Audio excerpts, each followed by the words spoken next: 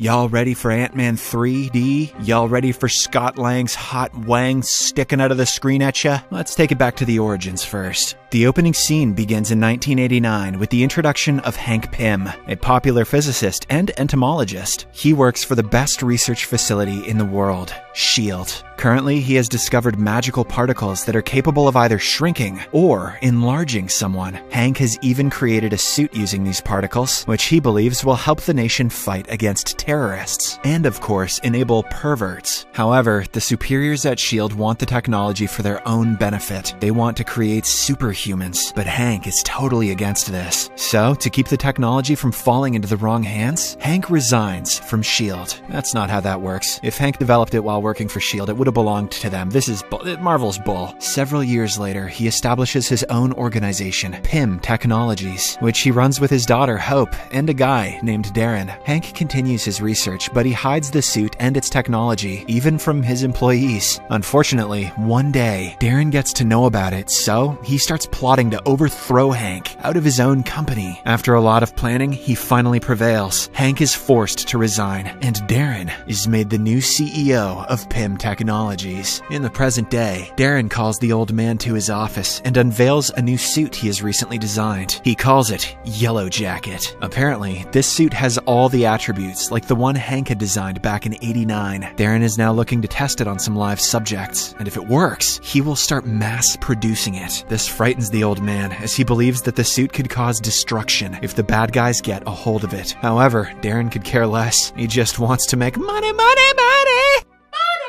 Elsewhere, a convict named Scott Lang is being released from prison after three years in captivity. He ended up in jail after infamously burglarizing his own employer. He was also pulled over multiple times for looking too damn sexy. Scott is picked up by his old accomplice Lewis, and on the way, the latter reveals that he has a new heist for him. However, Scott refuses to be a part of it, saying that he does not want to disappoint his daughter anymore. The following day, Scott applies to several jobs, but everywhere he is rejected due to his criminal history. This sends him spiraling into a state of depression. The only ray of light in Scott's life is his daughter Cassie, so he goes to visit her. Unfortunately, his ex-wife Maggie and her new cop husband Paxton immediately ask him to leave. Maggie warns Scott that if he wants to see their daughter, he will have to get a decent job and make the child support payments. Dejected, Scott storms out of the house and later calculates how much money is required for child support. When he learns that it is a lot, he reluctantly decides to join hands with Lewis and take part in the heist. In the next scene, Lewis briefs Scott about his mission, in which he will have to rob an old scientist's house. Apparently, there are a lot of valuables and high end gadgets there, which would sell for millions in the black market. That scientist is none other than Hank Pym. Scott, who is a professional at such robberies, immediately accepts. That night, he climbs the fence, removes the window sensors, and then proceeds to the basement by opening a window. After unlocking the basement door, he finds a second door, which is fingerprint coded. Fortunately, Scott is prepared for such situations. He cleverly lifts the fingerprints using some of his tricks and finally manages to open the door. Because of the intense security, Scott assumes that something very valuable is kept inside. But, to his dismay, all he finds is a strange red suit. He is unaware that he has broken into Hank Pym's house, who has been watching him all along. Back at Pym Technology, Darren is attempting to shrink a sheep to the microscopic size. Unfortunately, in the process, he ends up killing the poor animal. The experiment is deemed a failure, but Darren is determined to carry on with the tests. Elsewhere, Scott returns home with the suit and tries it on inside the bathroom. He then presses a red button on his hand, and as soon as he does so, he suddenly shrinks to the size of an insect. To make matters worse, Lewis enters the bathroom and turns on the fap. What? Oh, the tap, creating a tsunami for the little guy. Scott desperately tries to press the button on his other hand, hoping that it will revert him back to his original form, but to no avail. So he simply makes a run for it and ends up falling through a crack. Scott lands on the lower floor where hundreds of people are enjoying a party. He somehow avoids getting trampled, but once again falls through a crack and reaches another room. There, he is sucked inside a vacuum cleaner, chased by a rat, and launched by a mousetrap. At last, he smashes through the window and lands on top of a car. The impact finally reverts him back to his original size. Confused and scared by the incident. Later that night, Scott decides to go back inside the compound to return the suit But just as he jumps inside, he is surrounded by cops. Scott is arrested and taken to jail, where Paxton tells him that he has once again disappointed his daughter. Shortly after, another cop arrives and informs Scott that his lawyer has arrived. This surprises the latter as he never contacted any lawyer. When he goes to check who it is, he finds the scientist, Hank, waiting for him. The old man reveals that he has been monitoring Scott ever since he got out of jail. He purposely spread the rumor that his house contained valuables so that Lewis would be lured to it. In fact, he wanted Scott to steal the suit and try it on. Saying all this, Hank gives Scott two options. He can either waste his years in prison, or he can embrace the suit and work for him. As Scott returns to his cell, confused, an army of ants suddenly arrives with the suit. He doesn't think twice and puts it on, and the next second he shrinks in size like earlier. Scott then escapes the prison, and outside, a flying ant is waiting for him. He immediately mounts it and tries to ride it through the streets, but because of the high speed, he feels nauseous and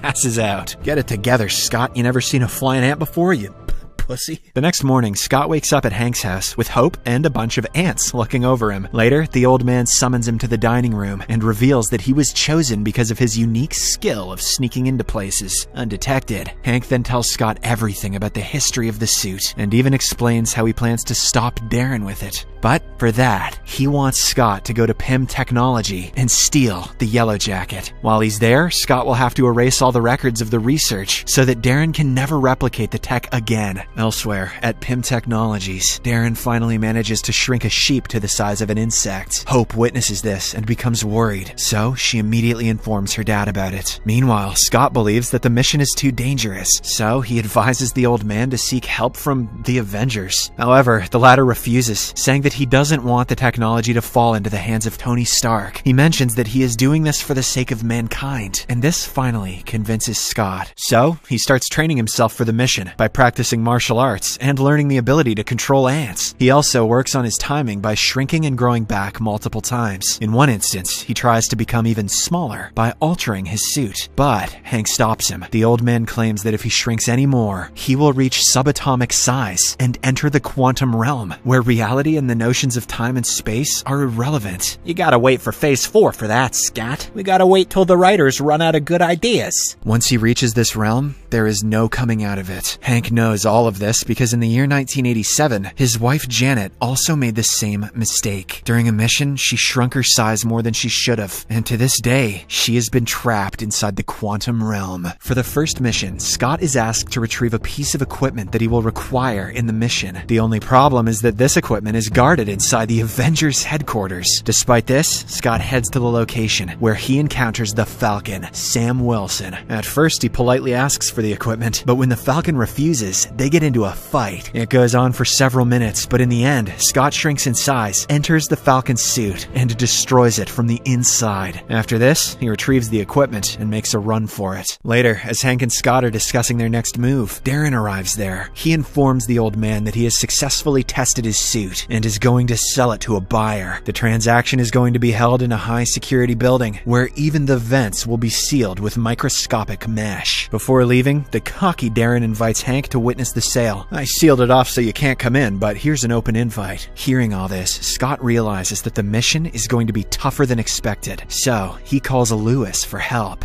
Well, what the hell is a Lewis gonna do? In the next scene, the group carries out the necessary arrangements and gets ready to steal the yellow jacket. Lewis disguises as a security officer and reduces the water pressure inside the water pipes. Using this opportunity, Scott manages to sneak inside the building, along with his ant friends. On the other hand, the buyer arrives, and he is revealed to be an executive from Hydra, a notorious underworld corporation. If the yellow jacket falls into their hands, humanity will be at a serious risk. Meanwhile, Scott enters the server room to plant a bomb in the system. At first, he directs his ant friends to damage the building's security system and burn all backup data. Once that is done, Scott heads to the transaction room and prepares to steal the yellow jacket. However, when he lunges at it, Darren arrives in the nick of time and traps him inside a glass cage. It turns out he was well aware of their plan and had been tracking Scott for some time. Darren then brings out a gun and prepares to finish Hank off. But right then, Scott breaks free and unleashes a brutal punishment on the Hydra agents. While this is happening, Darren shoots Hank in the chest and then aims for Scott, but the resilient ants show up and prevent him from pulling the trigger.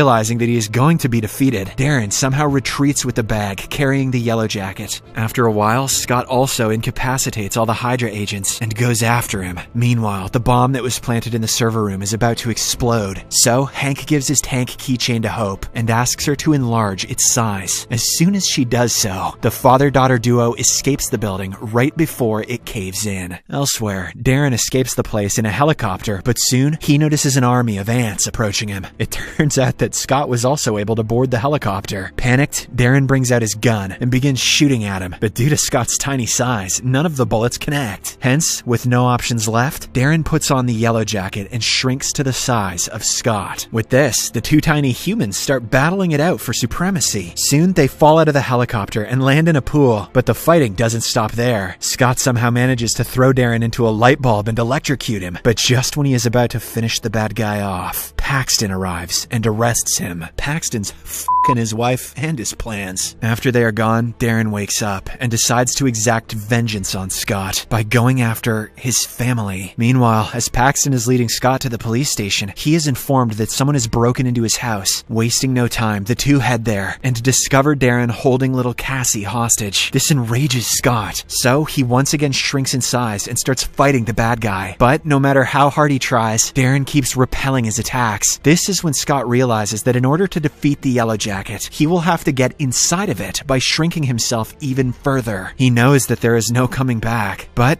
for the sake of his daughter's safety, he proceeds with the plan. It works, and as soon as Scott enters the suit, he destroys it from inside, causing Darren to vanish into thin air. But with this, Scott also gets trapped in the quantum realm. There is nothing but an endless vacuum around him. He tries using the button on his hand, but it doesn't work. Right then, he hears his daughter crying, and this gives him the motivation to get out of the place. He recalls the equipment that he had stolen from the Avengers base and uses it to rewire his suit. Surprisingly, this works. I don't know how, but it works, and he is able to return to the normal world. Scott immediately embraces his daughter, and at the same time, the cops also arrive. However, seeing his bravery, Paxton covers for him, giving him ample time to shrink in size and escape. In the final scene, Hank and Scott are having a conversation about the events that transpired last night. The old man is still in shock as to how Scott was able to escape the quantum realm. However, he is now hopeful that his wife can also be brought back. The movie ends as Lewis catches up with Scott and reveals that the Avengers are looking to recruit him.